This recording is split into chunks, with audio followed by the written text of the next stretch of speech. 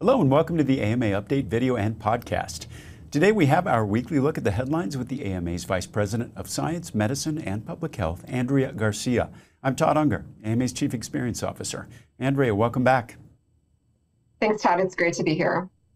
This week we're talking about whooping cough, a newly approved flu vaccine, and the connection between alcohol and cancer. Let's start with whooping cough. Andrea, this is the first time we're talking about whooping cough this year. What's the news?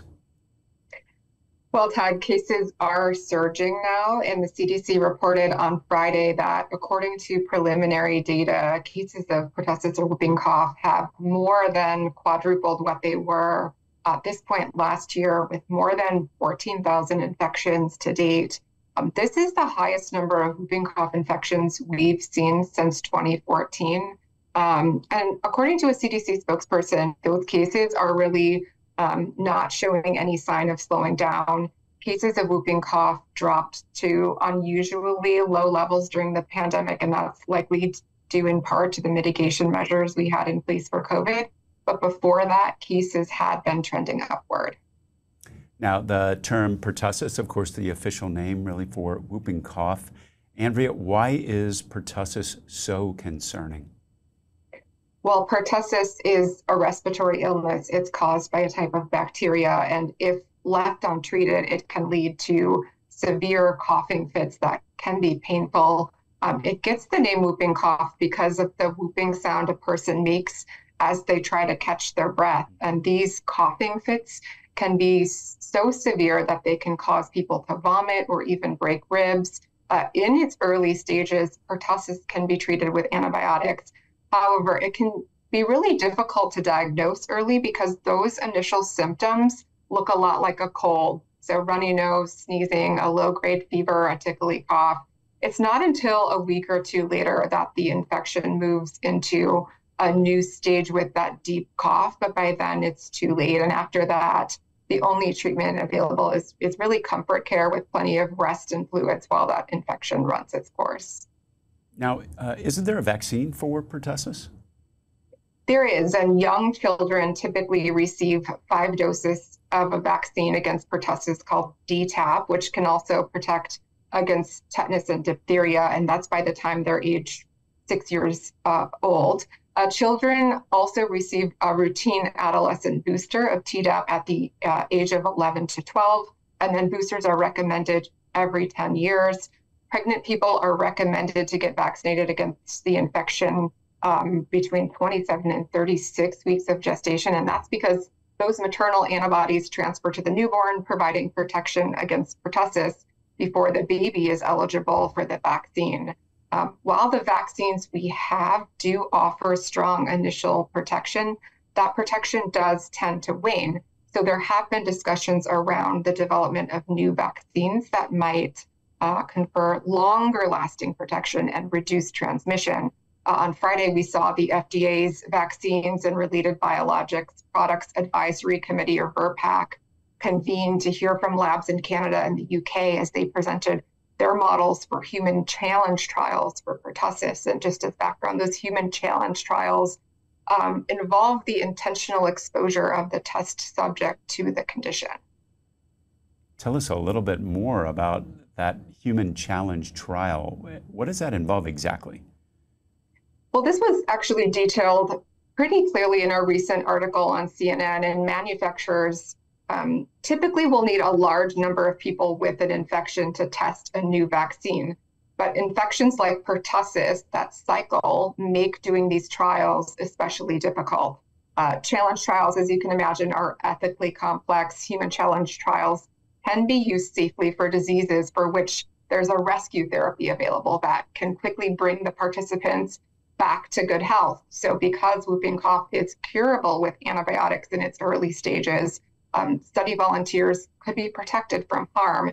Um, the advisory committee meeting, there were some concerns noted that the model wouldn't necessarily be able to measure how well a formulation prevents severe disease. It would also be potentially difficult to determine if people are getting stronger protection than existing vaccines. So those models were met with some mixed reactions by the committee. Some felt the studies had not been fine tuned enough. So, definitely something we'll continue to keep an eye on.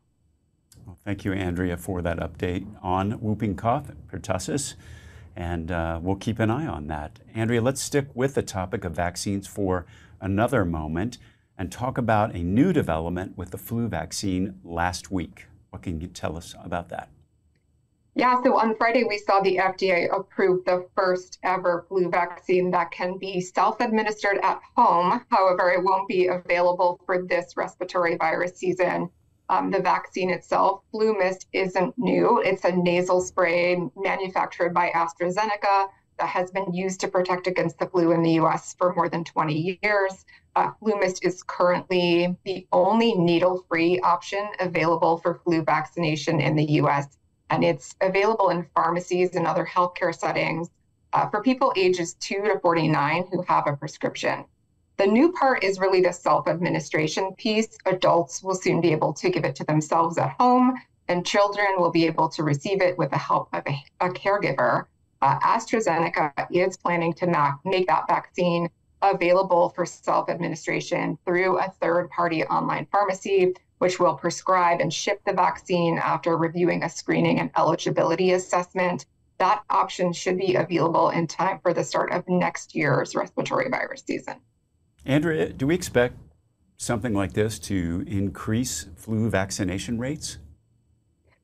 Well, I think that really remains to be seen. When the FDA announced last year that it was reviewing the possibility of self administered flu vaccines, some physicians told CNN that they really welcomed more accessible options, but they didn't expect that self administration would change vaccination rates significantly. Um, that said, Dr. Peter Marks, who's the director of FDA's Center for Biologics Evaluation and Research, said in a statement that it will provide greater convenience, flexibility, and accessibility for individuals and families.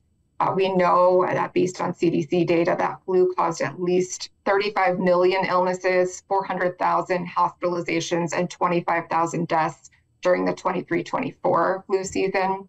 However, vaccine update uptake has fallen in recent years. Uh, last season, only about half of adults and children uh, in the US got their annual flu vaccine. So, really, anything that we can do to make vaccination easier and more accessible is a step uh, in the right direction.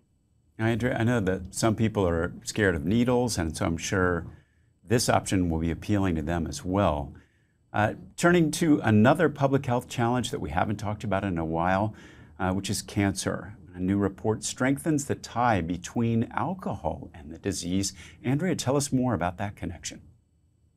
Well, this report actually made several headlines last week, including in the New York Times. And as we've discussed before, although overall cancer death rates have fallen, adults under the age of 50 have been developing breast cancer and colorectal cancer at increasingly higher rates over the last few decades.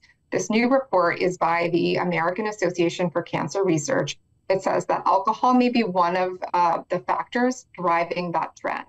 Um, that report found that excessive alcohol consumption increases the risk for six types of malignancies, including esophageal squamous cell carcinoma and certain types of head, neck, breast, colorectal, liver, and stomach cancers. Uh, we know that about 5.4% of cancers in the US, so just over 1 in 20 cancer diagnoses, were attributed to alcohol consumption in 2019. And that is the most uh, recent data that we have available. The report estimates that about 40% of all cancer cases are associated with modifiable risk factors. That's including reducing alcohol consumption, avoiding tobacco, maintaining a healthy diet and weight, exercising, avoiding ultraviolet radiation, and minimizing exposure to pollutants. Now, Andrea, I know there's been a lot of confusion of late because there was once kind of a belief that moderate alcohol uh, consumption was considered protective against heart disease. I think there's been a lot of news on that particular thing. How do we reconcile that with the current guidelines? Yeah, so we're certainly starting to see studies that show that that may not, in fact, be true for everyone. Uh, just last month, there was a large study that followed more than 135,000 older British adults for over a decade. And um, it found that moderate and light drinkers did not benefit from a reduction in heart disease when compared to occasional drinkers. Um, both moderate and light drinkers experienced more cancer deaths than occasional drinkers.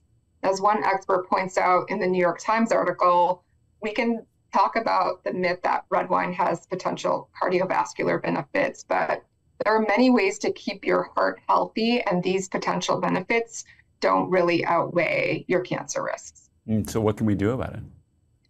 Well, the author said we really need to raise awareness through public messaging campaigns and adding cancer specific warning labels to alcoholic beverages.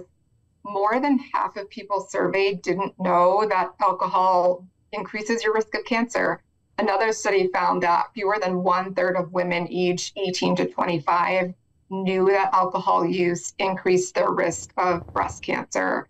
While the factors driving the increase in early onset colorectal cancer are not well understood, studies have shown that frequent and regular drinking in early and uh, mid adulthood is associated with a higher risk of colon and rectal cancers in later life. Well, we will certainly do our part to raise awareness on that front. Andrea, that wraps up today's episode, and thank you so much for being here and sharing this information. If you found this discussion valuable, you can support more programming like it by becoming an AMA member at ama-assn.org/join. And you can find all our videos and podcasts at ama-assn.org/podcasts.